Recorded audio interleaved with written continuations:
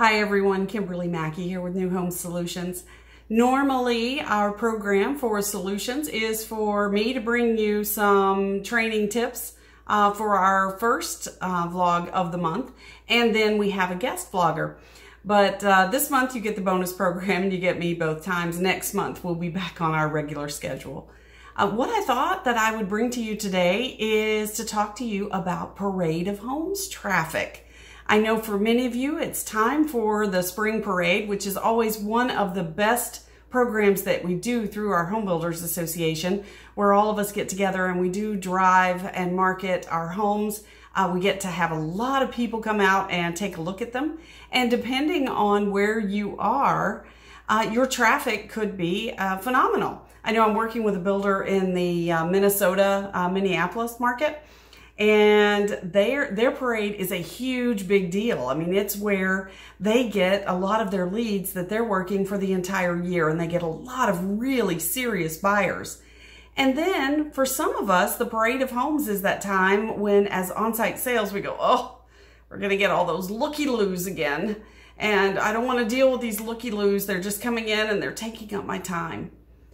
I want to encourage you to have a little bit of an attitude adjustment about those. So yes, you are going to get some people who just enjoy going to the Parade of Homes and seeing what's new and what's exciting and what's happening in their market.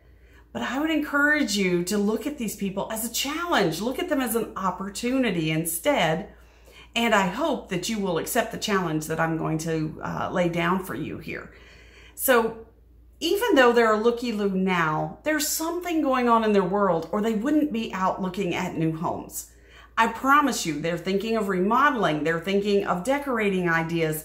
They may be thinking of moving, but they just don't know if they can. And they don't want to engage with you, that scary salesperson. So the best thing you can do when those people come through your door and go, up, oh, we're just looking. We are here for the parade of homes. Don't bother trying to sell us a home. Is just say, wow, thanks for coming out. You're about the third couple that I've had in today uh, or the fifth couple or the tenth couple that I've had in today to come by and see us. And we're just so excited to have you here. Say, tell me a little bit about where you've been so far. What, what else have you seen in the parade? Reach out to them as people. Don't let them being standoffish cause you to actually be standoffish. Remember, even though we like to think that we're the ones with the scripts and new home sales, our buyers have scripts too, and our prospects have scripts. And this is the same as the just looking buyer. So don't push them.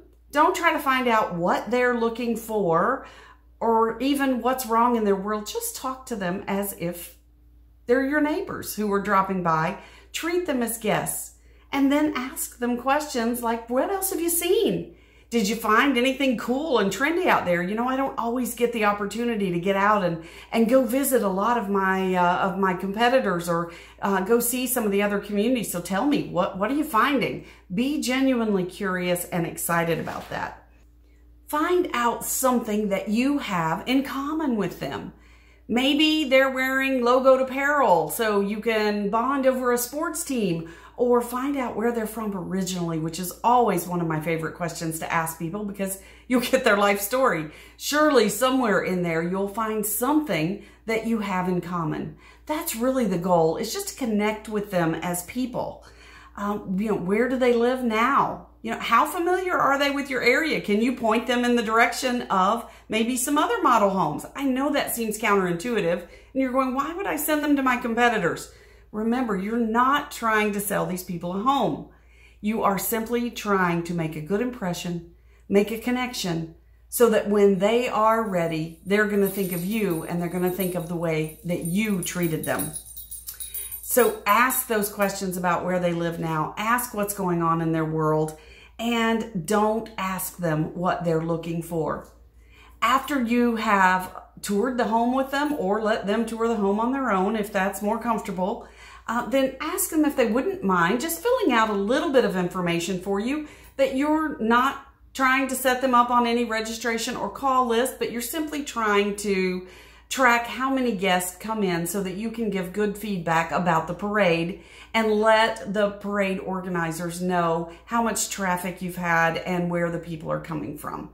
I bet you'll get a much better response. You're going to get people who are going to fill out that registration form and you might be able to then reach out to them, thank them for coming by, send your card, you know, send those old snail mails or send a video email if you're going to send a video or, or a video text message so that you make a good impression. And when they are in the market for a home or when their friends and family are in the market for a home, they'll remember you.